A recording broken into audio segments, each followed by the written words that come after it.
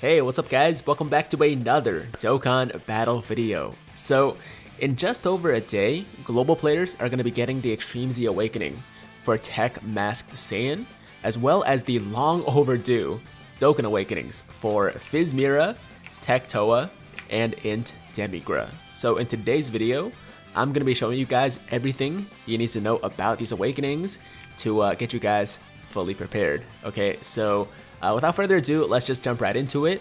And we're starting here with the Masked Saiyan.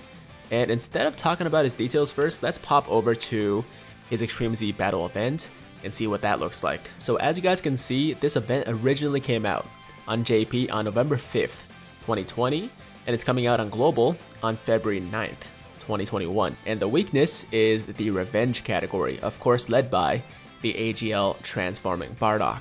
So as you make your way through the stages now, you're getting some Extreme Z Awakening medals for Masked Saiyan, you're getting some uh, tech orbs of each size, one Dragonstone per stage, and also some tech orbs, or sorry, tech Kais along the way. And of course he will have his natural damage reduction for every stage, but after level 3, he's gonna have additional damage reduction of 60% against all extreme type units. So obviously, you will want to bring a fully super type team, if possible.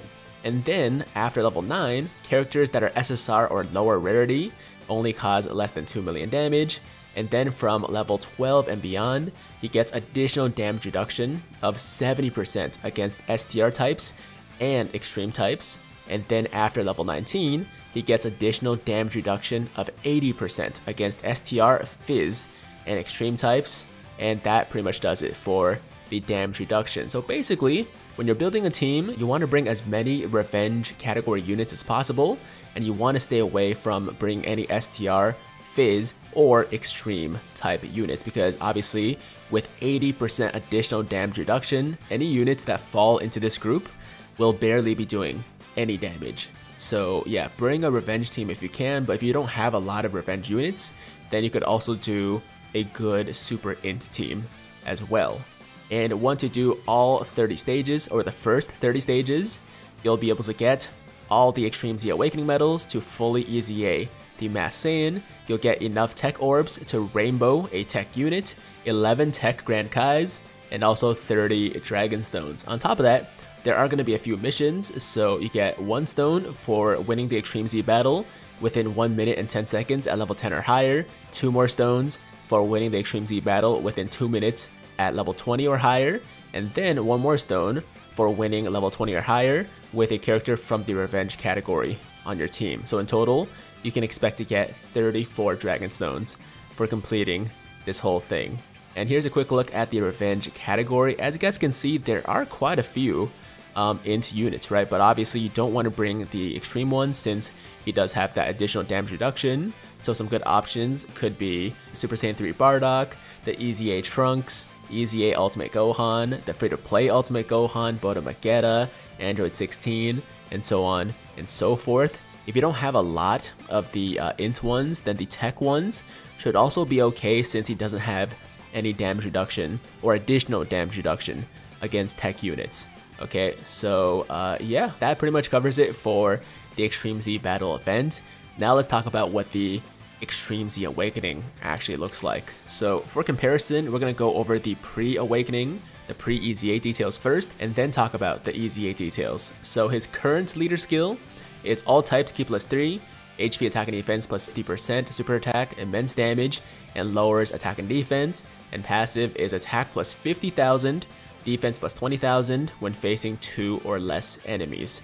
With his EZA, his new leader skill is all types. Ki plus 3, HP attack and defense plus 80,000, or sorry, no, uh, 80%, and then his super attack raises attack and defense, infinitely stacking, causes immense damage, and lowers attack and defense, and his passive is attack and defense plus 100% plus an additional Ki plus 1, and attack plus 50% when facing two or less enemies, plus an additional Ki plus 1, and attack and defense plus 30% when facing only one enemy. So essentially, when he's facing one enemy, he gets Ki plus 2, attack plus 180%, and defense plus 130%. When you're facing two enemies, he's getting Ki plus 1, attack plus 150%, and defense plus 100%. Overall, just the fact that they changed his buffs from flat boosts to percentage boosts makes a huge, huge difference.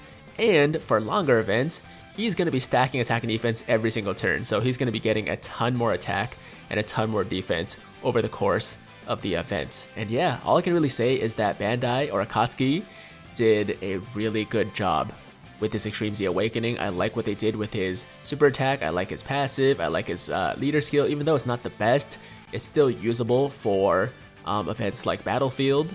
And of course, with the EZA, his stats get much better too. So when Rainbowed and fully Extreme Z Awakened, he's gonna have 17,976 attack, 17,896 HP, and 10,457 defense. So that is the EZA Masked Saiyan. Super excited for this guy.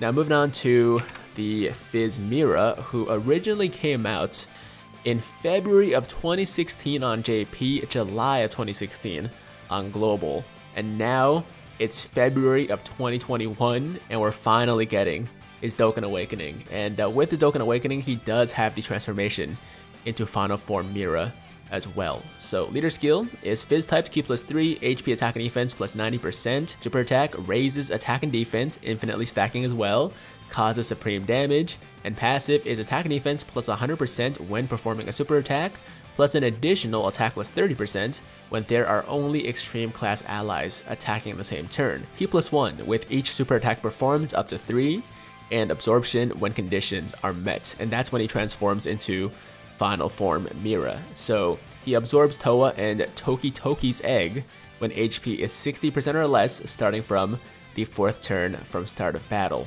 His links are Android Assault, Demonic Power, Tough as Nails, Kamehameha, Fear and Faith, Xenoverse, and Fierce Battle, and categories are Resurrected Warriors, Androids, Transformation Boost, Time Travelers, Artificial Life Forms, Kamehameha, Power Absorption, and Crossover. Now, moving on to the Final Form Mira, his super attack raises attack and causes supreme damage, and his passive is attack and defense plus 120%.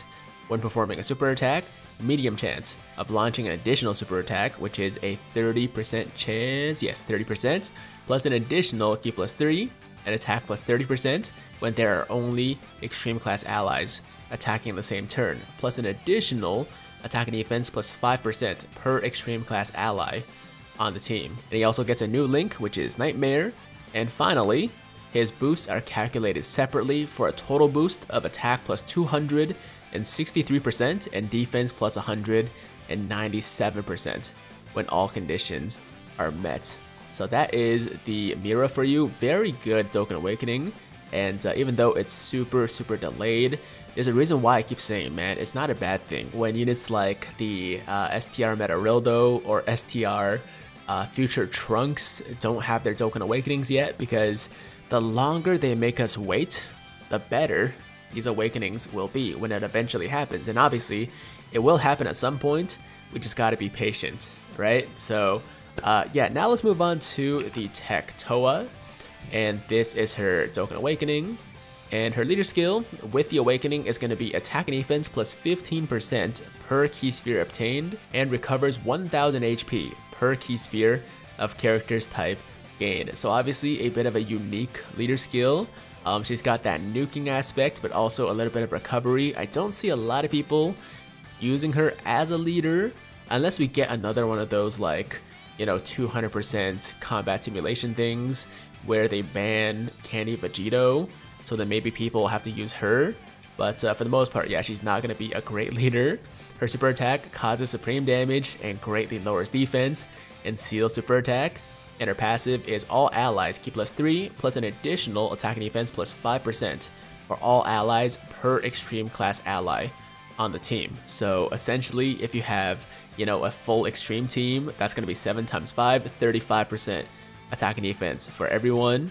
If you have 6 extreme, it's going to be 30%, 5 is going to be 25%, and so on and so forth. I'm sure you guys get the point. And she also gets attack and defense plus 100% when there are only extreme class allies attacking in the same turn. Her links are Demonic Power, Battlefield Diva, Solid Support, Scientist, Fear and Faith, Xenoverse, and Fierce Battle. and categories are Peppy Gals, Time Traveler, Siblings Bond, Battle of Wits, and Crossover. So yeah, once again, we are continuing that trend of, you know, Towa units being just very good extreme class supports, and there's nothing wrong with that. I mean, she reminds me a lot of like the uh, AGL West Supreme Kai, where she gets a little bit of attack and defense for herself, so she can still do some damage and tank a bit, but her main use is still as a support unit, and if you have a full extreme team, then she is an extremely good extreme support, right? So that's the Towa, and finally, let's quickly talk about the Int Demigra, whose main use before the Dokkan Awakening was just to be a stunner, right? Like he had a rare chance to stun on his super attack, he had a high chance to stun on his passive, but that's it. Now his Dokkan Awakening continues that trend, but he also gives you a lot more on top of that. So his uh, leader skill is all types Ki plus 3, HP attack and defense plus 70%, super attack, supreme damage with a medium chance of stunning the enemy, and his passive is attack and defense plus 120%, plus an additional attack and defense plus 60% when there are only extreme class allies attacking in the same turn. High chance of stunning the attacked enemy and turns into giant form when conditions are met. And he has a high chance of turning into giant form when HP is 60% or less once only. His links are Godly Power, Big Bad Bosses, Brainiacs, Revival, Fear and Faith, Xenoverse, and Fierce Battle, and categories are Realm of Gods, Resurrected Warriors, Giant Form, Time Travelers, Final Trump Card, and Crossover. And in terms of his stun chance, he actually has an average chance of 65% to stun the attacked enemy with a super attack when you factor in his passive and also his super attack, right? So uh, yeah, still a great stunner. It's just now he actually has, you know, attack and defense on top of that. And uh, for the uh, giant form or final form Demigra, it's basically just like any other giant form or great ape transformation. He causes destructive damage with a rare chance of stunning. He gets Ki plus 1 as his passive, and uh, he also has, you know, really high stats for that one turn, and you're immortal while he's in this state, but I believe it only lasts for one turn, and then you go back to the uh, regular Demigra. And that does it for the uh, upcoming Dokkan Awakenings for the Xenoverse characters on Global, as well as the Extreme Z Awakening for Mask Saiyan. Um, let me know in the comments down below what you guys think about them. Are you excited for the Mask Saiyan EZA or the Awakenings for the other three characters? And uh, hopefully this video helped you guys at least a little bit in building a team or forming a strategy for the Masked Saiyan Extreme Z area event, or rather the uh, Extreme Z battle event. Here's another quick look at the Revenge category. Of course, the best leader is the AGL Bardock, but he could use just a really good um, Super Ints team, and that should also do the job, especially if you bring a lot of Super type um, Revenge Int units, right? So uh, yeah, guys, that's the video. Thank you so much for watching. Uh, as always, if you liked today's video, then make sure to like the damn video. And if it's your first time watching me, first time to the channel, and you like what you see, then definitely hit that big red subscribe button to join the Tiger Squad now. And while you're at it, hit that notification bell too so that YouTube knows you want to stay up to date with all my latest content. And that's it. I'm out of here. Until next time, hope you guys have a fantastic, fantastic day. I'm Tiger with Tiger Uppercut Media, signing out.